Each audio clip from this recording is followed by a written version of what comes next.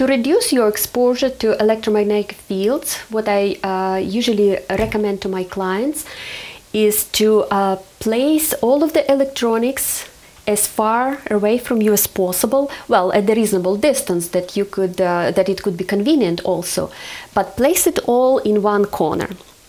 So um, and have in front of you just your uh, LCD which is actually pretty good. It does not radiate unlike um, those uh, cathode uh, tube monitors old style so uh, having your laptop your printer your um, whatever else you, you might have in your office uh, far away from you on the side, it actually uh, makes it safer, makes your uh, body less, less exposed.